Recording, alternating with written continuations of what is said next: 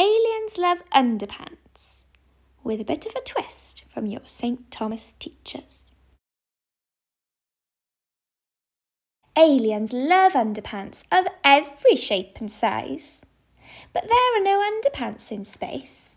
So here's a big surprise.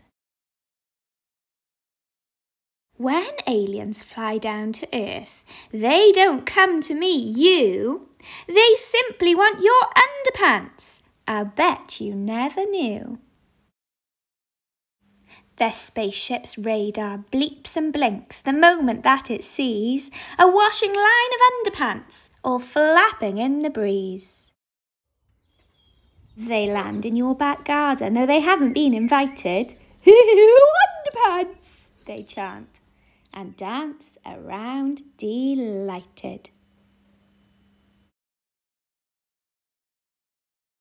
They like them red, they like them green, or orange like Satsumas. But best of all, they love the sight of Mrs. Emanuel's spotty bloomers.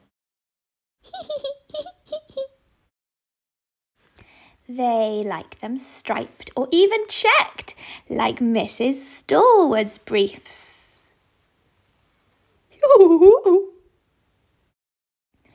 and Mrs. Hole's big long johns are great for hide and seek. Can't find me. They wear Miss Helia's stripy bloomers on their feet and head and other silly places.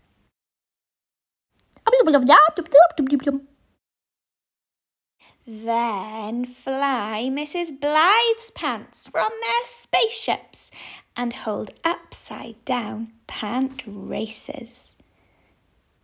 Zoom! The teachers have come out to fetch the washing in at last. Whee! Off the aliens zoom. They're used to leaving fast. On the washing line, instead of pants, there hung a picture which left the teachers shocked. The aliens had stolen the pants, and off to the moon they'd shot. Who are these pesky aliens? cried the teachers with a yelp. They needed to find out each alien's name, but for that they needed help. So they set the children challenges. They worked on them all week. Some of them even made plans to fly to the moon in their sleep. By the end of the week, all of the aliens' names had been discovered and the children bought back the teacher's pants using bits of change they found inside their cupboards.